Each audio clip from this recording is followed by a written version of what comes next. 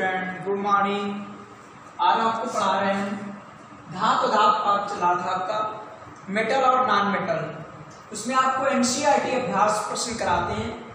उसमें पहला क्वेश्चन है, बहुकल्पी है, आपका मोस्ट इंपॉर्टेंट है। ये विकल्प आपकी आ भी चुके हैं बोर्ड एग्ज़ाम में, ठीक? इनमें से कौन सा युगल ये मतलब जोड़ा विस्थापन क्रिया करता है? कि विस्थापन क्रिया करेगा कि नहीं करेगा। तो आपको सक्रियता श्रेणी पढ़ाई थी। कि जो धात ऊपर है, वो अपने से नीचे वाली धात को उसके लवण के विलीन से विस्थापित कर देगा। तो ये पढ़ाया था हमने। लिखबा सरकाना मग्गा एल्यूमिनियम का। मन, जन करके फेंक दो। कोई नहीं, श्रीनाथ प्रभाकर हैं। Copper H G A G Patna है। देखो, ये सोडियम है कॉपर है। तो सोडियम ऊपर है, कॉपर से ठीक पहले आ चुकी है। तो भैया, कॉपर NaCl से सोडियम को विस्थापित नहीं करेगा। तो ये ऑप्शन सही नहीं हो सकता, ठीक?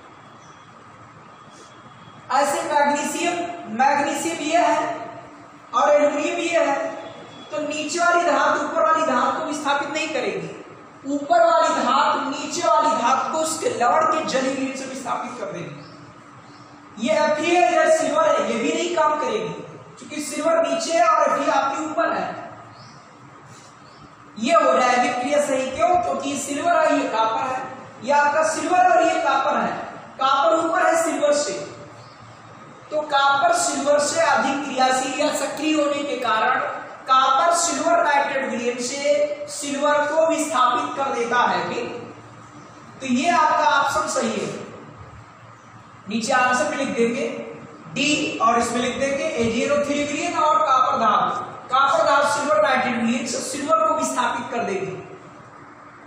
दूसरा क्वेश्चन है कि लोहे के फ्राइंग पैन को जंग से बचाने के लिए निम्न में से कौन सी विधि उपयुक्त है? जैसे फ्राई वगैरह किया जाता है उसे बोलते हैं फ्राइंग पैन इसको जंग से बचाने के लिए कौन सी विधि उपयुक्त है? ग्रीस लगाकर, वही ग्रीस लगाकर, पेंट लगाकर, जीप की परत चढ़ाकर, ये सभी। देखो ग्रीस लगाएँगे, पेंट लगाएँगे तो खाना आपका खराब हो जाएगा। दूषित हो जाएगा, भाई ग्रीस खाने में लग जाएगी, खराब हो जाएगा खाना, ऐसे पेंट छूट जाएगी। तो इसमें ऑप्शन सबसे उपयुक्त आपका कौन सा है? जीप की परत चढ़ाकर लोहे को जंग से बचाना हो तो ये सभी विधियाँ कर सकते हो। गिरिस लगाकर पेंट चढ़ाकर जीप की पतली परत चढ़ाकर बचा जा सकता है।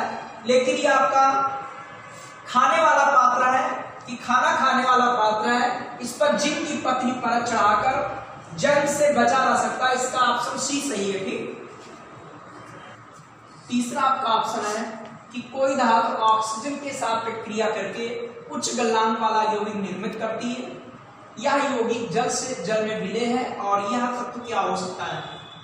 देखो जो क्षार धातु में है और क्षारी मृदा धातु में इनके यौगिक आयनिक होते हैं और इनके गलनांक उठनांक कुछ होते हैं। क्योंकि आयनिक यौगिक कोर्स में नहीं था, वहाँ पर एक लक्षण था कि आयनिक यौगिकों के गलनांक उठनांक कुछ होते हैं। तो या तो कोई हमें क्षार धातु मिल जाए, या क्षारी मृदा धातु मिल जाए। उन्हीं के यौगिकों के गलनांक मतलब इनके जो ऑक्साइड बनेंगे, उनके गलनांक कुछ होंगे, ठीक?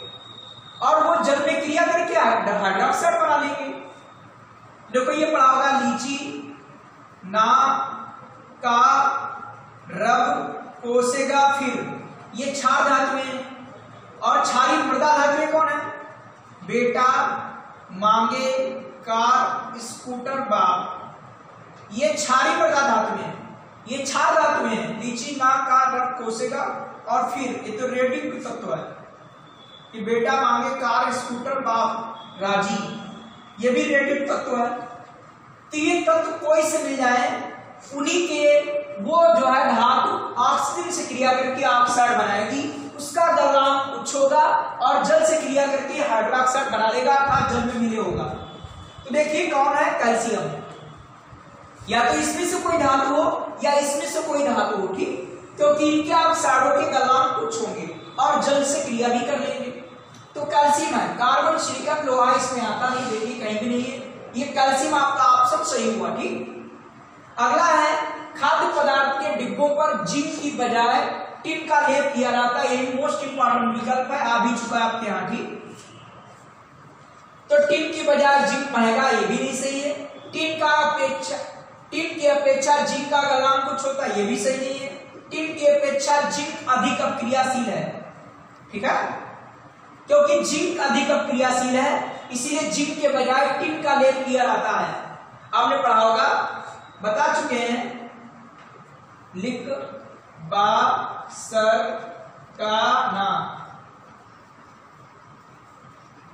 मग्गा एल्युमिनियम का मन जन करके फेंक दो। कोई नहीं श्रीनाथ तो देखिए जिंक को आपका ऊपर आ गया एसर आपका बाद में आया। जिंक पहले आ गया एसर बाद में। और ऊपर से नीचे आते सक्रियता घटती जाती है। जानते हो कि जिंक जो है, वो टिन से अधिक क्रियाशील है। और अधिक क्रियाशील होने के कारण जिंक के बजाय टिन का लेप किया जाता है। चूँकि टिन जो है एसन वो कम क्रियाशील है, ठीक? तो आपका ऑप्शन सही हुआ तीसरा। क्यों? ध्यान रखना आप लोग कि टिन की अपेक्षा जिंक जो है, अधिक क्रियाशील है। तो जिंक जो है, जल्दी वायु के द्वारा खराब हो जाएगी, लेकिन यह आसानी से आपकी खराब नहीं होगी। इसीलिए जो है, खाद्य पदार्थों के डिब्बों पर जिंक की बजाय टिन का लेप किया जाता है ठीक?